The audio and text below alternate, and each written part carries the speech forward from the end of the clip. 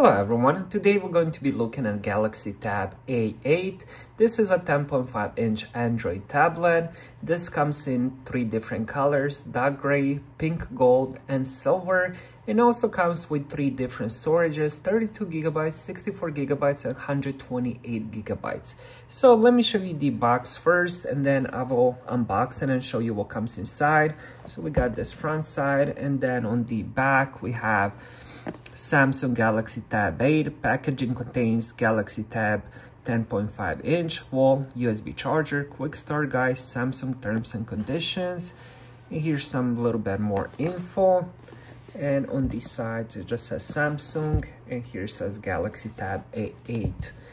Now let me open it and I'll show you what comes inside and then I'll turn that on and show you how the screen looks. And now, and I will also show you what kind of apps does the Samsung comes with. And here we go. Let's put this on the side. Let's put the tablet on the side first. Let's check the paperwork and the charger first.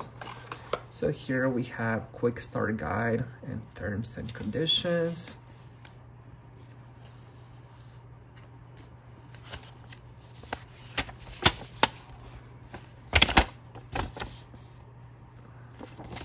All right let's put that inside we do have sim injector pin i'm not sure if this is for the sd card i guess we'll find out in a little bit but it's kind of neat that it comes with that all right so here we go we have the cable it's a USB-C to USB Type A. It looks a bit short, maybe two, three feet. And here is the wall adapter. Here are the specs.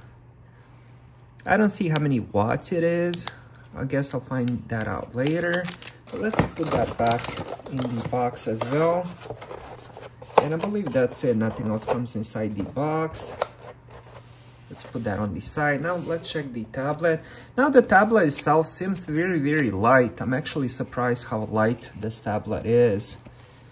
Which of course is the good thing since you're gonna have it in your hands most of the time and let's pull it out. Wow very very slim tablet. Here we go this is how the tablet looks. Very very slim and light i'm actually surprised. So on the bottom we have the usb-c port we have dual speakers and we also have 3.5 millimeter headphone jack which is very surprising. That's a nice thing to have for sure then on the top, we have the power button and the volume rockers. I believe this is the microphone. And let's check the other side. We have another, could be microphone again. We have another set of speakers, which is quite nice. So we have some on the bottom and top. Quite surprising. I'm loving this tablet so far. And on this side, we don't have anything, but just look how slim this is. And on top, we do have the front-facing camera. And on the back, we have another camera. Sadly, no flash, but this is 8 megapixel camera. We have that Samsung logo on the... Before I forget, I wanted to show you where the SD card expansion slot, and that's what that SIM injector tool is.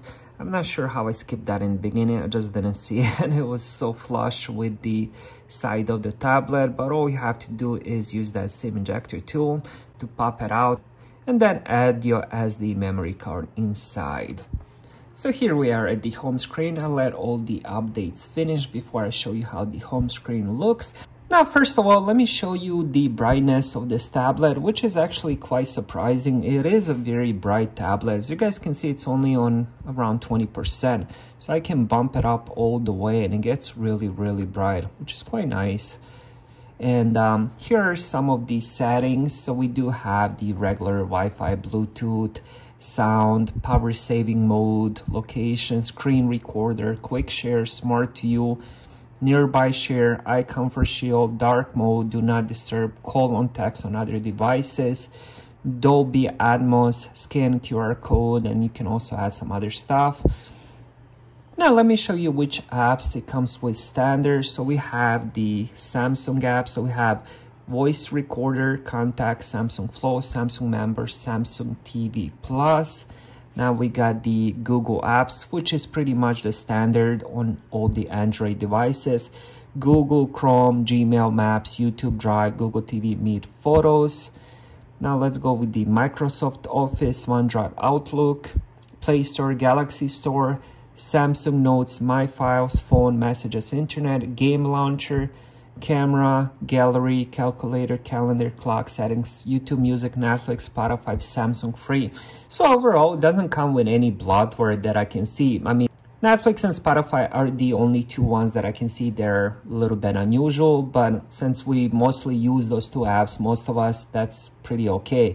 So the screen is 1920 times 1200 pixel. This is quite nice on the 10.5 inch screen. So as you guys can see, the colors look really nice. It has a good amount of brightness, so you can use it outside or inside because as I showed you earlier, it's only set at, at 20%, so I can even bump it up, make it much brighter. But I don't see any reason to bump it up more than 20% if you use it on the inside. Next, I want to show you how the speaker sounds since it does have speakers on each side.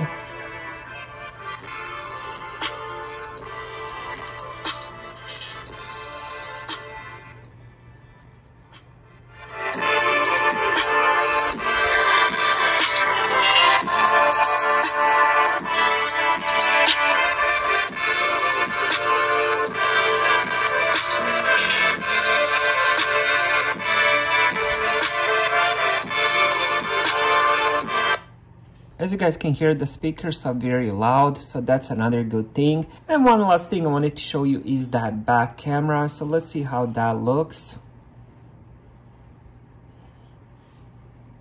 So I can definitely see myself taking some pictures. It does have the 8 megapixel camera. Now this will not replace your phone camera or anything like that, but if you do need to take some pictures in a hurry and the only thing you have is the tablet, I can definitely see myself taking some pictures with this and uh, let's see how this one looks and here we go So my first impression is very positive. I love how light it is. I love the screen. I like the colors. I love the brightness. The sound is amazing. It's easy to use. And I love the fact that it didn't come with a lot of bloatware. It only came with two extra apps that I actually use. So that's a good thing. Thank you guys for watching.